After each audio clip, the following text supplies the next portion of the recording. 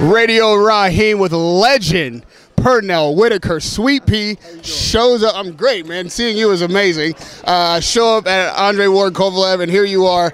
Listen, first, I have to get your assessment of the fight. Obviously, you want to hear the boxing brain talk about how this fight, just match up, how you see it.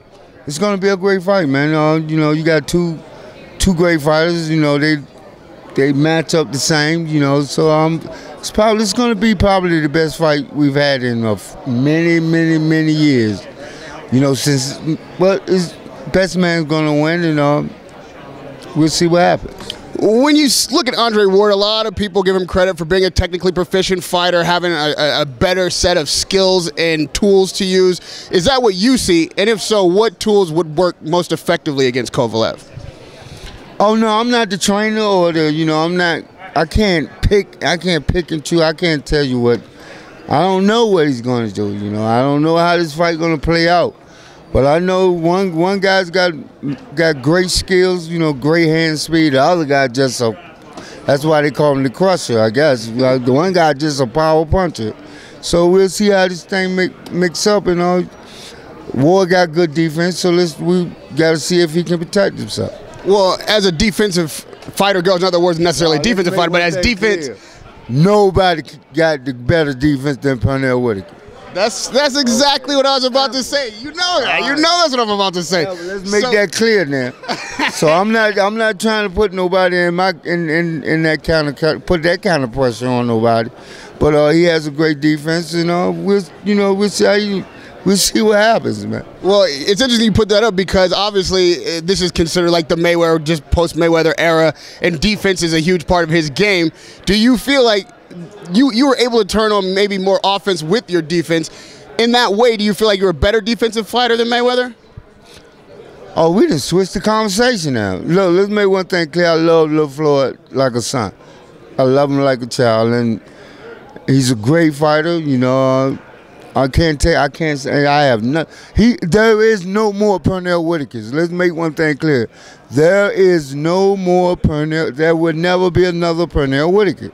You know? What separates you? What makes you different? Why will there be another? Never be another Pernell Whitaker.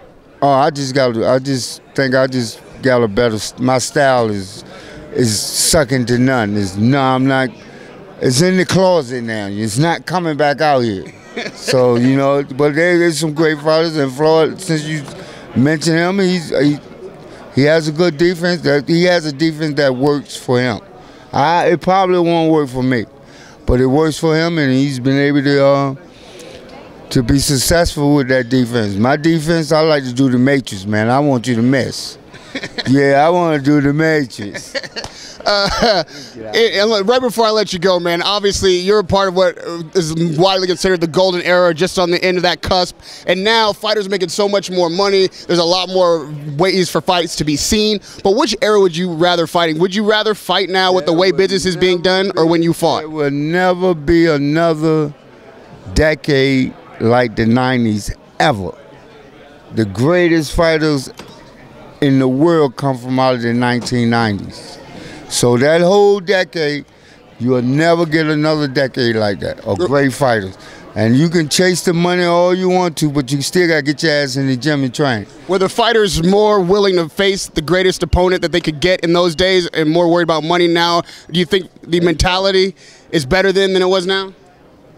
Is the mentality of the 90s that everybody wanted to fight the best fight. Everybody wanted to, to, to compete against the best not cherry picking no fights and picking fights. You know you're supposed to win these fights. You want to get in there with the best fight. I think that's it's only fair to do that for the fans, people who watch you or subscribe to watching you or pay pay per view. You want to, the fans want to see the best fight the best, and I think they deserve to have that. Well, as a journalist, you want to talk to the best, and you don't always get an opportunity to do that. But today I did. Pernell Whitaker is an honor. It's a pleasure. Pleasure mine, baby. I enjoyed the interview. Radio Raheem with Sweet Pea, Pernell Whitaker.